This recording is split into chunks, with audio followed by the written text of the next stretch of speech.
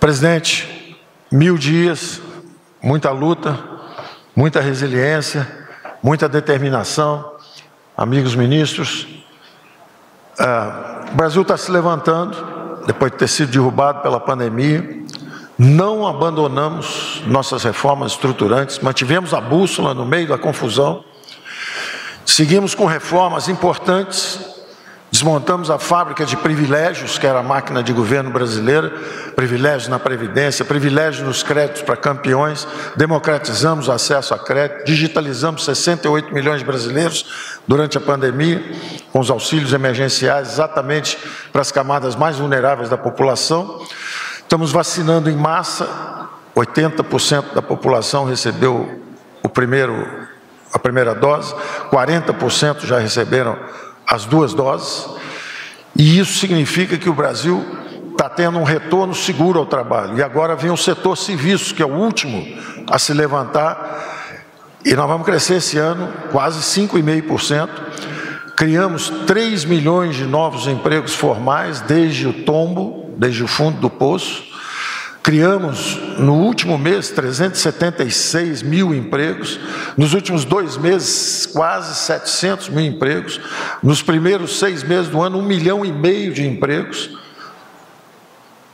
um milhão e quatrocentas mil empresas criadas no último quadrimestre, um milhão e quatrocentos mil novas empresas criadas no último quadrimestre. Então, 3 milhões de novas ocupações, ou seja, emprego informal retornando. Então o Brasil está decolando mais uma vez. Apesar da crise hídrica, apesar de tudo isso, apesar da inflação subindo, o Brasil se levantou e começou a caminhar. E tem as reformas institucionais disparando as ondas de investimentos. Nós temos 544 bilhões de investimentos já contratados, não são programas, são contratos já assinados. Uma revolução em saneamento, em infraestrutura, aeroportos, cabotagem, está tudo a caminho. Gás natural, nós mudamos o marco regulatório do gás natural Exatamente agora que o gás natural sobe, disparamos as ondas de investimento. Então, o Brasil vai crescer. O Brasil vai crescer, vai gerar empregos. Diziam que nós íamos cair 10, nós caímos 4. Diziam que nós íamos ficar no fundo do poço, nós voltamos em V. Dizíamos que nós não íamos crescer, nós vamos crescer 5,5. E dizem agora que no ano que vem nós não vamos crescer, nós vamos crescer de novo. E já começaram a dizer que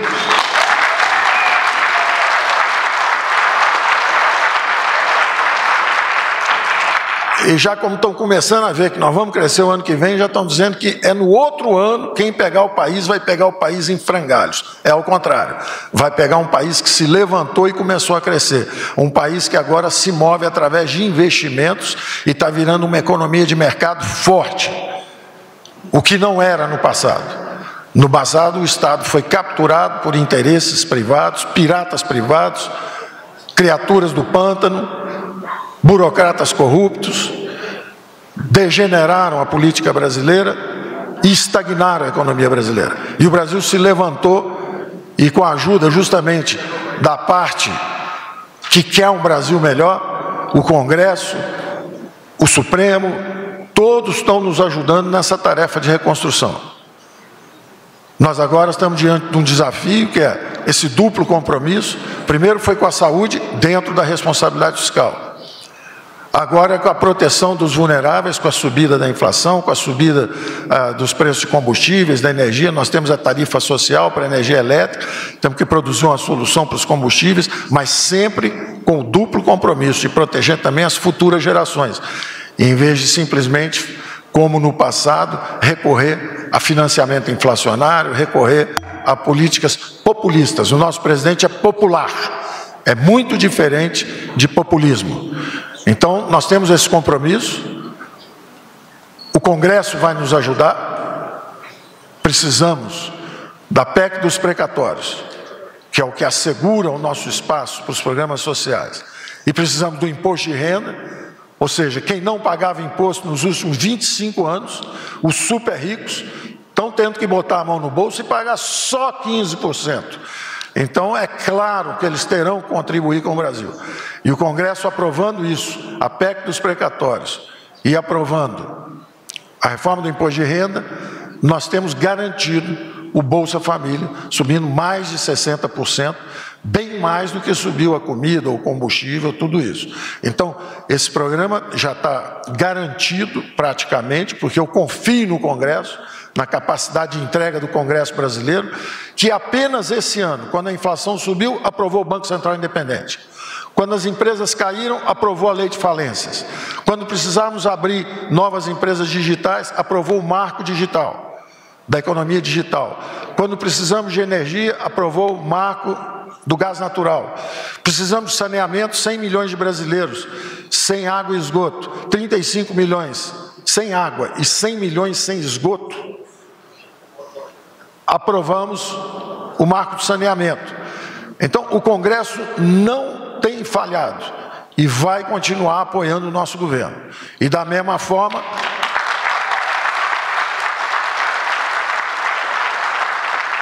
E da mesma forma, os ministros do Supremo, entendendo um erro de origem, lá atrás, quando fizeram o teto para o Poder Executivo,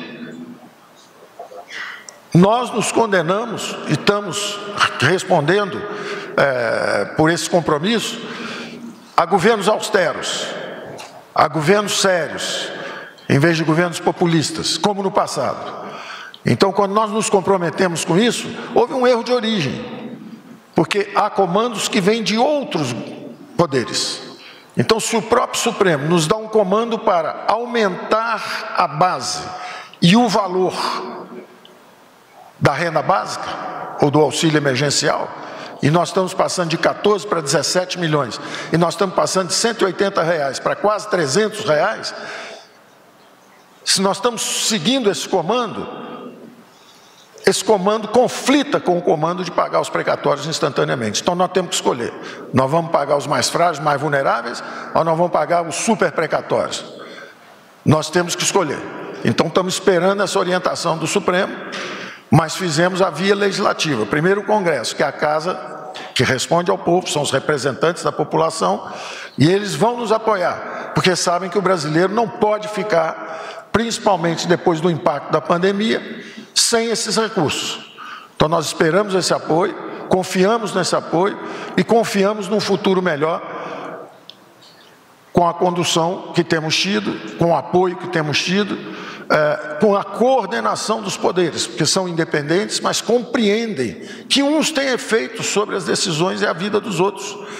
Então o Supremo com, com, compreende isso, que se ele deu dois comandos conflitivos, paga o precatório, Dá o aumento do Bolsa Família. Não fure o teto. São comandos que conflitam. Alguma coisa tem que ceder e nós temos recebido orientação deles e temos recebido o apoio do Congresso. Então, estamos confiantes que o Brasil segue na trajetória do crescimento, estamos confiantes nesses 540 bilhões de investimentos que vêm por aí já contratados, porque daqui até o fim do ano, o ministro Tarcísio vai vender mais 22 aeroportos, o ministro Marinho vai fazer as obras, terminar as obras que ficaram inconcluídas, ah, o ministro João Roma vai estender o auxílio emergencial.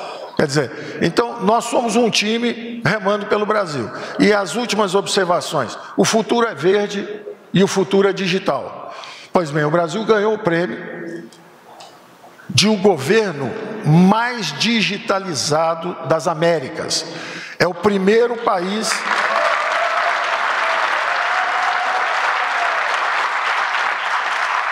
É o número um das Américas, à frente dos Estados Unidos à frente do Canadá e é a sétima economia do mundo onde o governo é mais digitalizado. O que, que significa isso? Qual é esse prêmio que o Brasil recebeu? Significa que em vez de para fazer prova de vida do INSS, você tem que entrar num caminhão, viajar, às vezes doente, até um hospital em outra cidade para ter uma certificação e receber o serviço do INSS, você faz tudo digital. Significa para tirar o seu passaporte, é todo digital. Significa para resolver o seu problema com a Receita Federal, é todo digital. Então, o Brasil, com o Brasil digital, que na verdade é um portal que todo mundo pode entrar, chama-se é, br.gov ou gov.br. Na verdade é gov.br. Você aperta lá o gov.br. Quando nós chegamos aqui, tinha um milhão e meio, na verdade, um milhão e oitocentas mil pessoas frequentando o governo digital. Hoje são 115 milhões de brasileiros usando os serviços do governo digital. Então, se o futuro é digital, o Brasil já está no futuro, porque o nosso presidente foi eleito numa plataforma digital. Ele não seria eleito pela mídia convencional, ele foi eleito nas plataformas digitais. Então, se o futuro é digital, nosso presidente já é produto de uma democracia digital, já temos um governo digital, o melhor das Américas, recebido o prêmio pelo Banco Mundial. O Banco Mundial tinha um outro prêmio também, que foi desativado logo no momento em que nós íamos avançar 30 ou 40 posições como melhor ambiente de negócio. O Brasil estava em centésimo, trigésimo lugar, nós íamos avançar 30 ou 40 posições.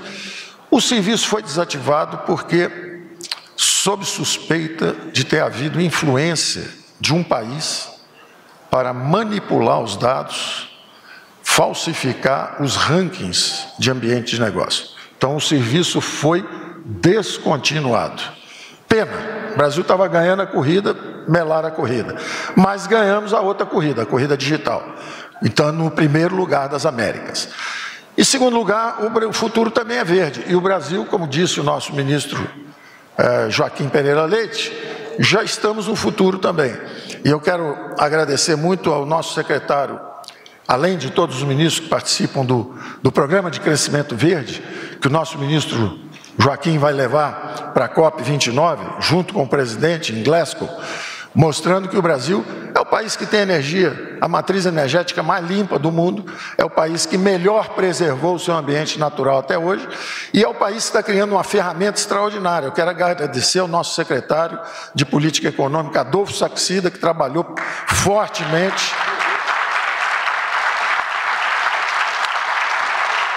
Adolfo também escolhido pelo olho clínico do presidente. Antes de eu chegar e montar a equipe, o presidente já tinha escolhido o Adolfo e botado na equipe. E ele, levanta aí, Adolfo, para todo mundo te enxergar.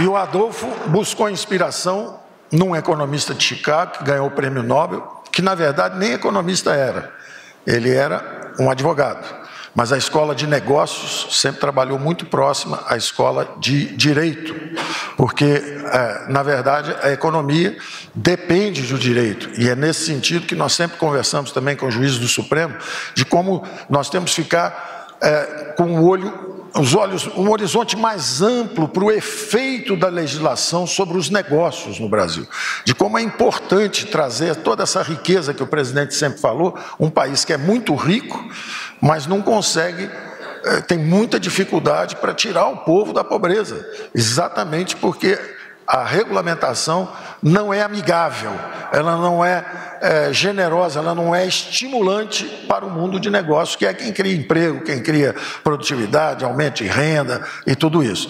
Mas então o Saxida foi buscar inspiração no Ronald Coase e o certificado, a cédula verde, na verdade, é, um, é, um, é, é o teorema de Coase, ele ganhou o prêmio Nobel por isso, é o que nos inspirou.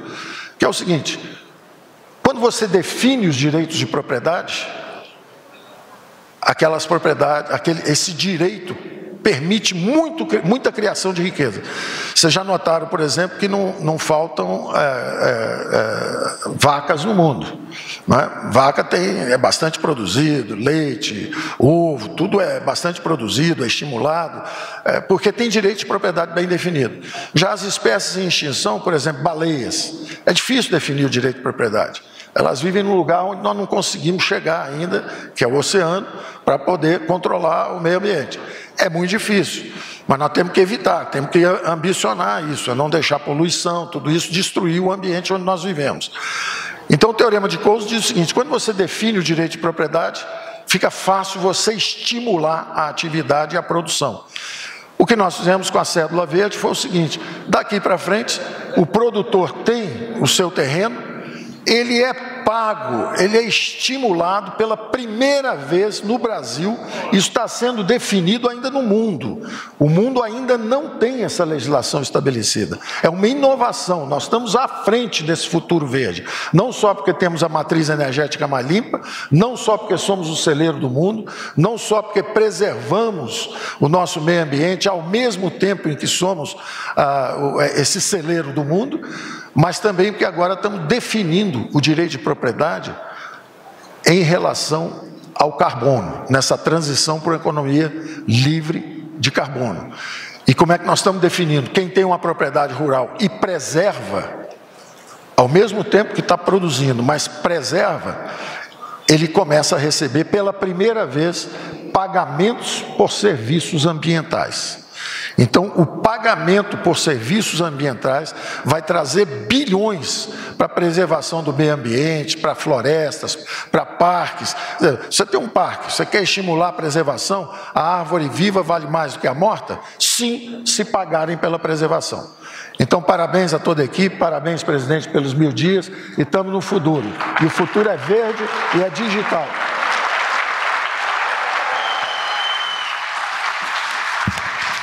Bom dia a todos. Quem deveria estar ocupando o microfone aqui como a última pessoa, mais importante, devia ser a ministra Flávia Arruda. Dizer que é uma satisfação trabalhar num ambiente como esse. E hoje, reforçado aqui por essa população maravilhosa do nosso Distrito Federal. Mais reforçado ainda pela comunidade 26 de setembro, futura cidade, com toda certeza. Antes de conversar com esse ministro, rapidamente, estive na Bahia com o João Romas, entregando títulos no assentamento Rosinha do Prado. O pessoal deve ter visto na internet. Este assentamento, o ano passado, foi invadido pelo MST Duas senhoras apareceram machucadas com as casas queimadas. Mandamos para lá a Força Nacional, o nosso coronel Aginaldo.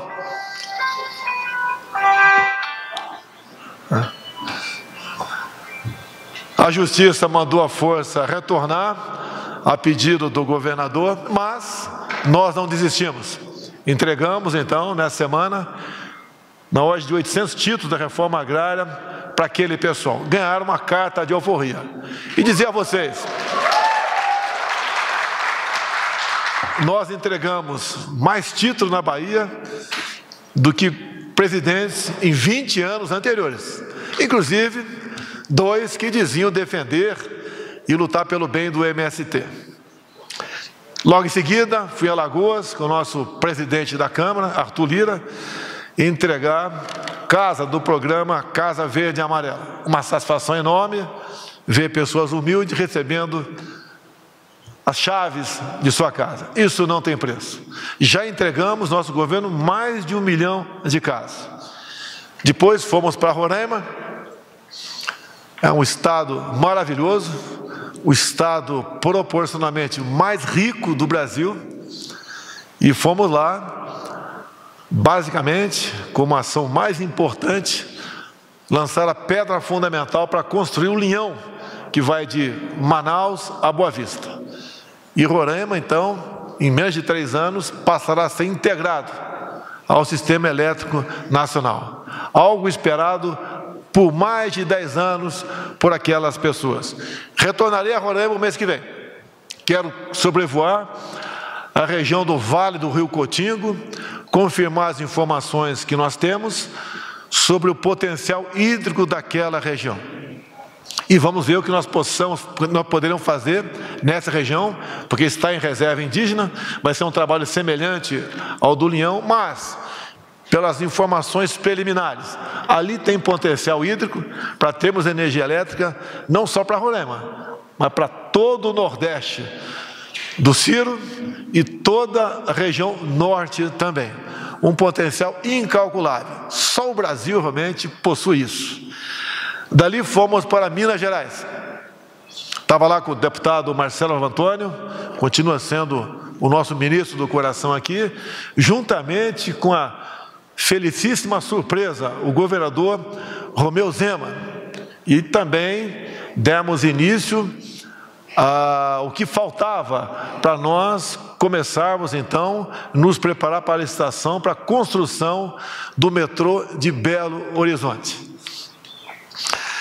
DF hoje, já falei da nossa querida Flávia Arruda, e dizer a Flávia uma coisa: eu casei com uma jovem da Ceilândia, mas ela tinha uma outra virtude, torcedora do Flamengo.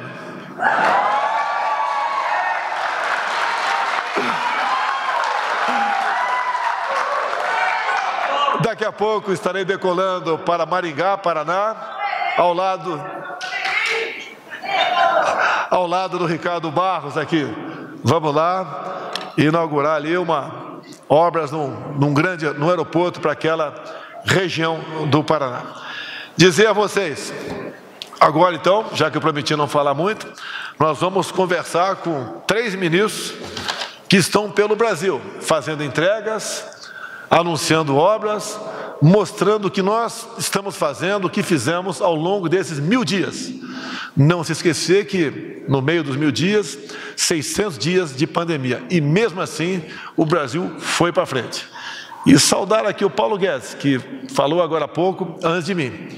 Apesar da pandemia, que lamentamos as, todas as mortes no Brasil e no mundo, o Brasil foi um país que menos sofreu na economia. Né? E é um dos países que melhor está saindo na economia também, o que eu espero que seja o fim dessa pandemia. Então, seguindo a sequência aqui, vamos conversar com o ministro mais simpático que eu tenho no governo, Tarcísio de Freitas, que está em Anápolis.